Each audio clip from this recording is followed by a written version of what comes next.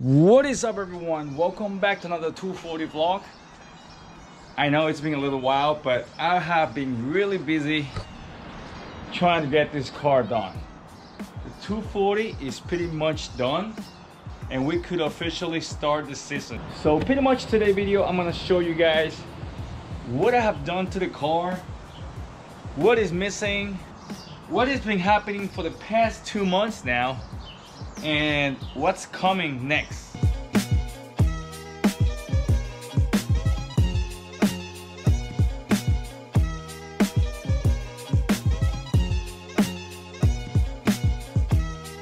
All right, so pretty much here's the Nissan 240 S13.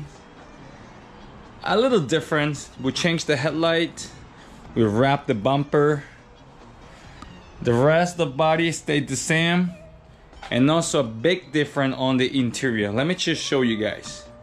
So pretty much here's the interior. A big change this year.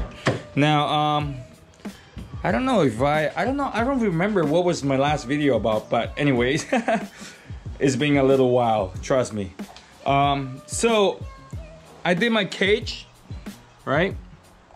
Now one thing that you guys probably notice and is missing is the second door bar. Now I haven't finished that yet because since I'm not running an A-Class yet, I'm just gonna save it up for later. Here's the cage. Here's the whole interior. We added a second bucket seat for the passenger side. I think it looks so good. Here pretty much my Sparco racing seat, a new Takata harness. Now we got two of them Man, I love these harnesses. They look so good. Here is the positioning, right? We changed the positioning of the hydro. So a little different here on the hydraulic e-brake. Uh, we actually, I actually brought it a little forward. Um, so that'll be a little more comfortable for me when I'm drifting. Um, let me just show you guys a little quick what I did with the bracket. Bang here's the bracket that I created for the hydraulic e-brake. Look at that. I box it out and I also reinforce it, you know, making sure that this thing won't fall apart, you know, on one of those events. Huh, sit tight here. Anyway, let me get back here. Another cool feature that I add into the 240 is this actually arc race panel. Look at how clean is this thing look. Here we got the kill switch. This is the main power switch. You flip this on, everything lights on. The lights, the arc panel. We got power over here, cigarette lights. So we got over here our ignition. You flip this, all the gauges turns on right? Everything turns on, all the lights and everything. Well, I mean, the lights is already controlled by the kill switch. We got fuel. And for last, we got our starter. I'm gonna crank this out in a bit. I just want to give you guys an update of what is up. I actually changed up my fire extinguisher positioning last year was sitting over here. It kind of bothered you know the passenger so i brought it down here under the legs easy access you know easy to grab no problem. The battery was let me just turn this off before you know this light sucked the whole battery thingy. The battery was actually relocated behind the passenger seat. This is doesn't belong here I just left it in there, you know, because I would just, you know, try to maybe put another one over there, but maybe not. On the rear compartment, where the trunk is, I actually added bed liner for more durability, you know, and also hopefully easy to clean. Right? Turn this on. Got all the lights, power. Man, look at all those lights, man. I got this little controller anyway. So if you turn it on, we actually can select the color that we want. So check this out, guys. Red, green, blue, white, yellow. Oh, I mean orange, yellow, another blue, light blue, and purple. Whoa, actually purple looks really good. I love it. No bad. Stay purple then. All right, that's our controller. Let's turn this off. Um, what else I have done to the car? Oh, let me show you guys the engine bay. Whew, it's just a lot, guys. It, it is a lot. It's been, you know, like forever in here. I remember when I, you know, was taking out the car apart. Hook pins, everything latch up really good. Oh, I got new headlights. I'll show you guys in a bit. This 2K stuff, it is pretty amazing. This is actually a 2K paint from Eastwood. Look at that. It does looks really good. I was actually planning to do this side as well, but since I ran out, I guess we're gonna wait for the paint to arrive. But this actually, it looks very good. Look at this. Very nice. Oh, look at this. Aluminum brackets. I just did that yesterday. You know, I painted this yesterday and also I did the brackets. I wanted to make sure that the cart was good. Uh, man, this thing amazing, man. It looks good. What do you guys think? It's worth, right? It's worth it the time that I've been putting in this car. It's been, wow, a little bit over six months now, I believe, you know? We did the front end, we did the cage, we got new headlights. Um, let me just tell you what happened with the headlights. So I pretty much, I don't know, I parked the car for about a week so. I turned the headlights on, I cranked the car, the car was running fine. Five minutes after, both headlight went off. So I think we have a wire cut somewhere, you know, uh, when I was uh, actually installing, you know, the tops or I don't know, something went bad. So I have to get new headlights and also I have to rewire pretty much everything. That was crazy. So here's all the wiring. Look at that. Look at that mess over there. All this, the other side. Uh, the headlight motors, I had to cut them out because it wouldn't fit the new radiator. It's a pain in the ass, man. So much work. But look at all that. It's 100% worth it. Damn, it looks so good. Let me show you guys the headlights. I actually added a cool feature that a 240 doesn't have. So if you turn this on, ready? Ta-da! Uh, we got daily running lights. Look at how amazing it looks. Damn, I'm so in love with this, man.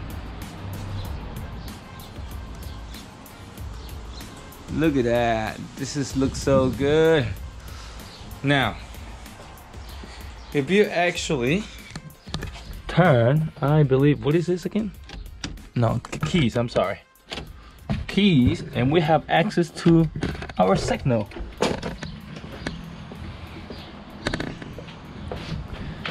Look at that. You get the top one, and we get the bottom as well. Damn, these are really bright. You can probably see on video, but there you go. The yellow one is blinking as well. We got the left side, and now we got the right side. Damn, I'm so excited. And also, I believe that we got hazard lights on. What? Damn, it does actually looks really crazy. I'm pretty stoked. All right, let's crank this car up. All right, no more lights, it's done.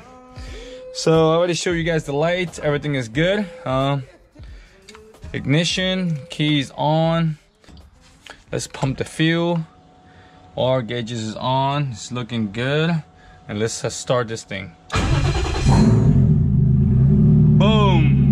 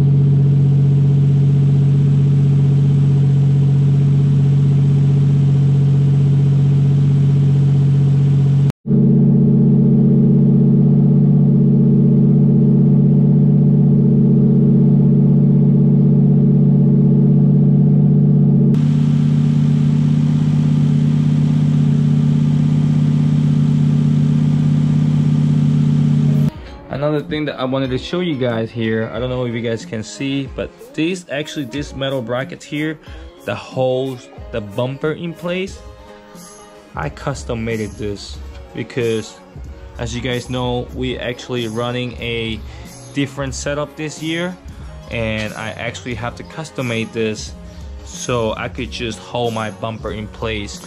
We pretty much deleted the legs that holds the, the motor and this bumper and all that you know we deleted all that crap and I had it to custom made all these brackets so I could just support my bumper. Now a lot of people ask about is what I did with these two valves over here. Now I tapped this with an AN fitting right?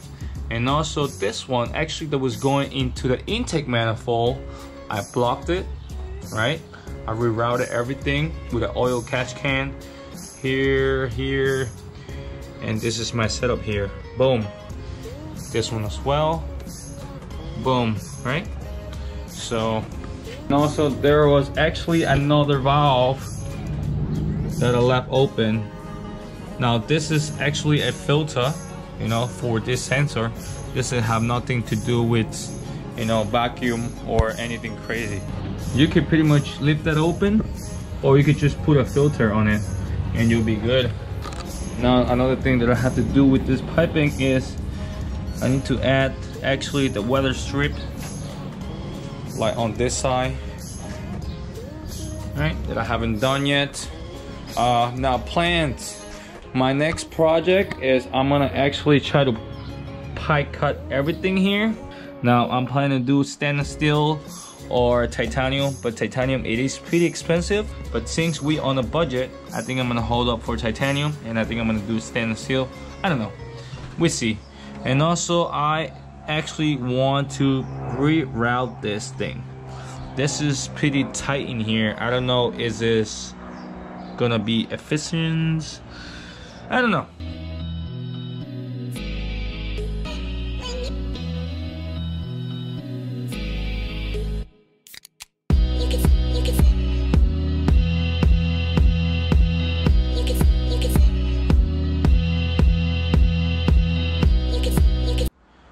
also over here I tapped it.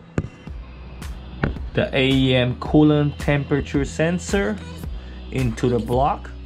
Now I don't know if you guys remember but last year we have actually a connector you know that allows us to put in the NPT sensor in there.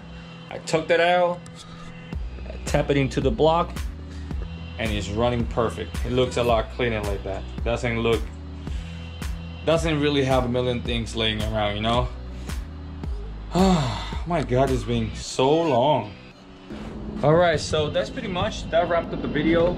Uh, I'm pretty sure there's more stuff to mention, but you know, the car is ready. Like I said, I'm gonna be drifting in RSD on the weekend, on the 16th. Uh, hopefully I see some of you guys there. If you, you know, get to swing by, say hello, whatever, you know, but uh yeah more video actually is to be coming